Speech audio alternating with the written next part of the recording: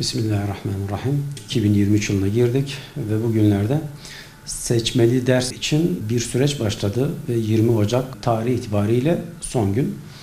Gençlerimizin, öğrencilerimizin iyi ahlaklı bir şekilde yetişebilmeleri için Kur'an-ı Kerim ve siyer derslerinin önemi büyüktür. Bunların seçilmesi gerekmektedir. Özellikle okullarda 10 öğrencinin başvuru yapmasıyla seçmeli ders için 10 dilekçe yeterli. Gençlerimizin sanal medyayla çevrelenmiş, kuşatılmış e, bu dönemde e, iki dersin önemi ön plana çıkıyor. Birincisi Kur'an-ı Kerim, e, diğer bir dersimiz ise Siyer-i Nebi.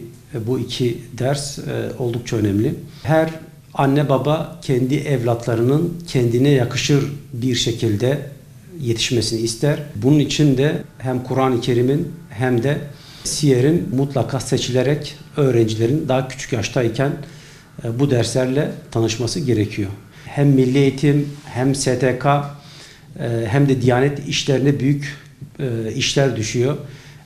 Bu konuda toplum bilgilendirilmeli, şuurlandırılmalı ki veliler bu dersleri seçebilsinler. Nasıl ki bazı bakanlıklar bir şeyin toplumda yaygınlaşması için medyada reklam veriliyorsa Aynı şekilde bu derslerle ilgili mutlaka tanıtımın televizyonlarda mutlaka verilmesi gerekiyor. Diyanete düşen görev, e, Cuma hutbelerinde özellikle bunların öneminin vurgulanması, e, yine STK'ların da e, gerek yapacakları basın açıklamalarıyla gerekse yapacakları şuurlandırma faaliyetleriyle bu dersleri ön plana çıkarmaları gerekiyor. Sadece devlet okulları değil, ee, özel okullara giden öğrencilerin de bu derse ihtiyacı var. Bazı özel okullar daha çok akademik kaygı nedeniyle bu dersleri ikinci plana atabilmektedir. Tabi bu doğru değil.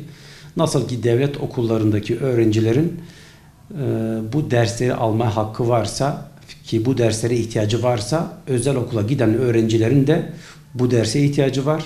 E, devletin müfredatı herkesi bağlar. Bağlayıcı bir müfredat. E, bunun özel veya devlet e, okulu ayrımı yok.